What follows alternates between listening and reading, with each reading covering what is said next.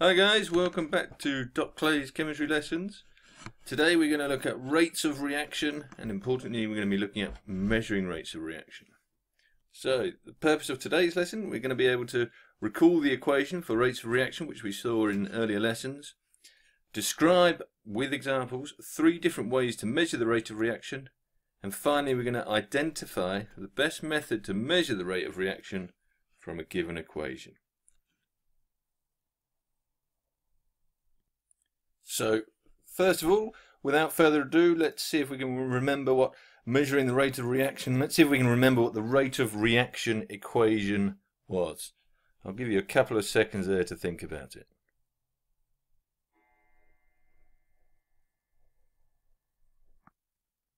Did you get it?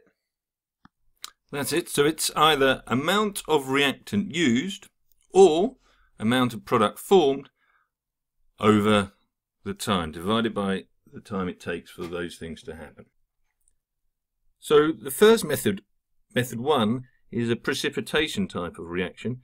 And this is where we're going to measure the amount of product formed in a given time. And the classic example, and one we'll see in class, is the reaction of sodium thiosulfate with an acid. So sodium thiosulfate, to start with, over here, is importantly colourless solution. It's aqueous, so it dissolves in water. And when it reacts with hydrochloric acid, it forms sulfur. Now, sulfur, you may have come across before, is a yellow solid. And so, as you mix the two things together, if you put something underneath the solution, such as, in this case, a black cross, and you observe by looking down through the solution at the black cross, if you wait for a given time, some point in the future, as the yellow solid sulfur forms, you will no longer be able to see the black cross. And at that point there, you can stop the stopwatch and you can say that the reaction has come to some sort of completion. And you can compare that then between different reactions and you'll get different rates of reaction. So there we go. Method one, precipitation, where we form a solid. So we are measuring in the experiment the amount of product formed in a given time. So now let's go ahead and look at method two.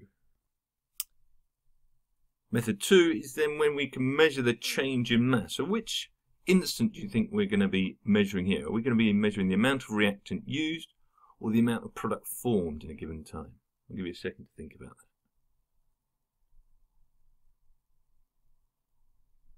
that. That's right. We're really measuring the amount of reactant used because the product here is given, being given off. What sort of state do we have to have in the product in order for this reaction to work?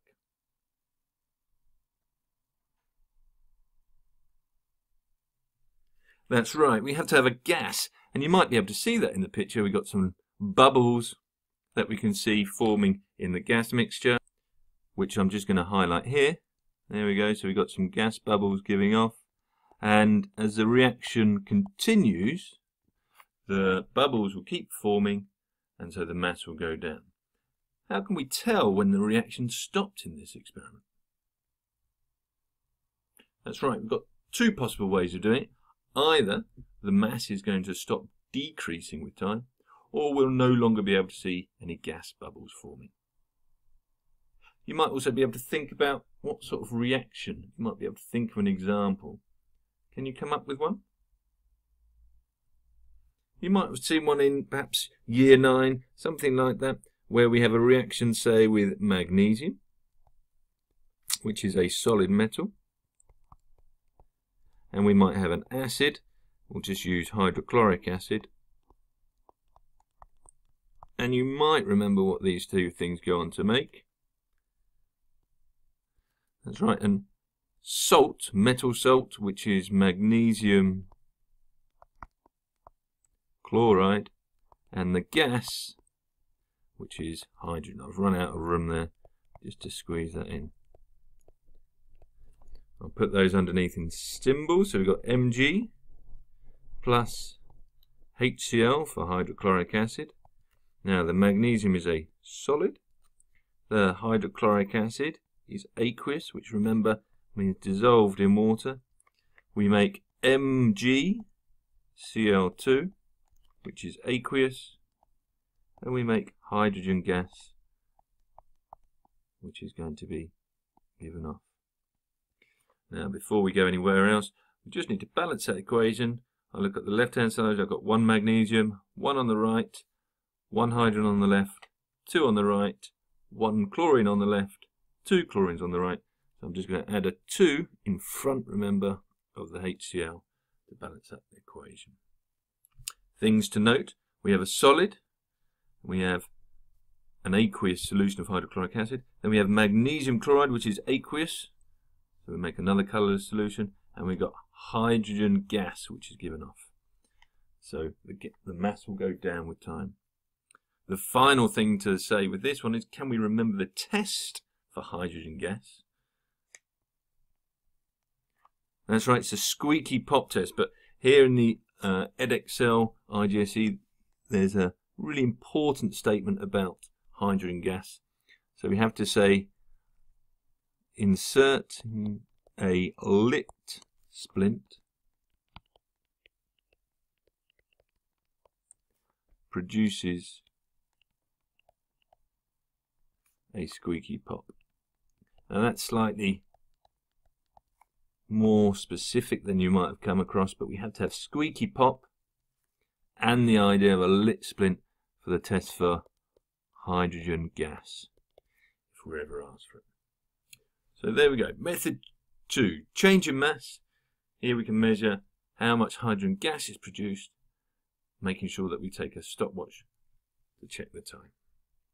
We'll now move ourselves on to method three, the final method, which involves making a gas again. Perhaps you can come up with a way that we might be able to do this. Here we go then. So Method 3, the volume of gas given off. So last time, similar reaction occurring. We were looking at how much gas was given off and therefore we could measure the decrease in mass. So we were really measuring how much reactant was used up in a given time. This time, however, we've got a slightly different setup. We've got no mass balance underneath. And instead of our conical flask being open to the atmosphere, it now has a bung in the top of it. So it's now sealed and there's in a glass tube which we can see goes up here and goes to a syringe. As a reaction occurs, those gas bubbles inside from the reaction mixture bubble away and they travel out of the solution and then cause the gas syringe to move outwards as the pressure of the gas inside the system starts to increase because a gas is produced. So let's look at an example perhaps where we might use this sort of a setup. Hydrogen previously can be a bit dangerous to store in syringes like that and also it's a very difficult gas to collect because it's so small. So we tend to use this perhaps for something say like when we're making oxygen. Now oxygen can be made with this stuff, which is called hydrogen peroxide, which you might have come across, uh, which is sometimes known as a bleach, dyes your hair blonde if you ever get it near it, and it decomposes to form water and oxygen.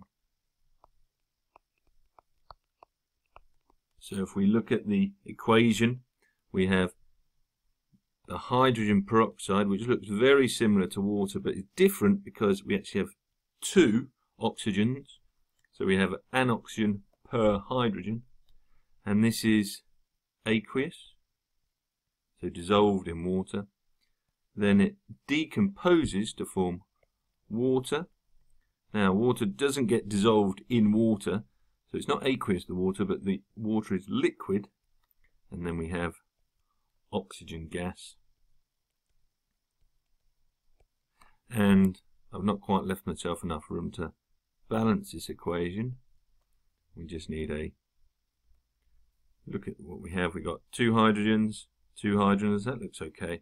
We've got two oxygens, and then we've got one, two, three oxygens on the right hand side. So I need to double this up so we now have four oxygens on the left hand side. I need to make four oxygens on the right hand side. Now we have also one, two, three, four hydrogens and one, two, three, four hydrogens on both sides. We have a balanced equation. We can see we've got the gas being given off. If we measure the time taken for the gas to be given off, we can work out again the rate of reaction. So the last thing perhaps just to remind ourselves here is another gas test. You've probably seen before. So this gas test we're going to measure for oxygen. I'll give you a second. Perhaps you can remember the test for oxygen. That's right, it relights a glowing splint.